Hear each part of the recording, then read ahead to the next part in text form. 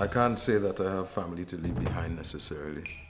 My mother died when I was 13. And not too long after that, my father abandoned all of me.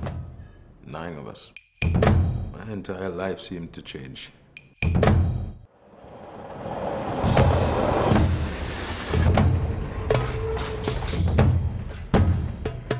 What's your name? Kofi Mensah. Kofi Mensah. Yeah, yes, sir. Ulric Cross. Ever since I was a little boy, all I ever wanted to do was become a pilot. Flying Officer Ulric Cross. And now I'm actually here at the area, signing up. Let's just go and kill Hitler.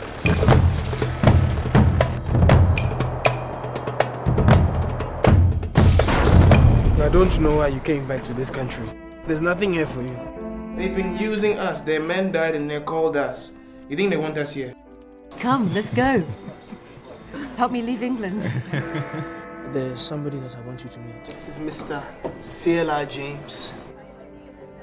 Mr. George Padmore.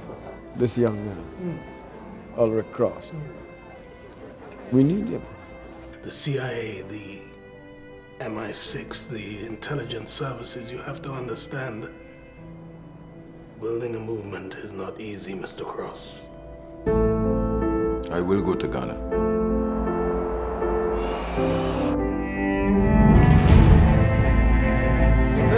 Ghana, man. Yes. Welcome to Ghana, my friend. Our President Kwame Nkrumah and the people came together to unite Africa. At last, Ghana, your beloved country, is free forever!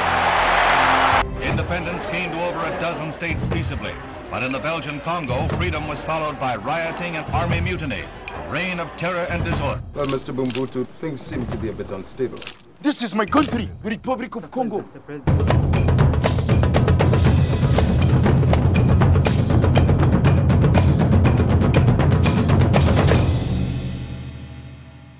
Go well, Mr. Cross, and do big things.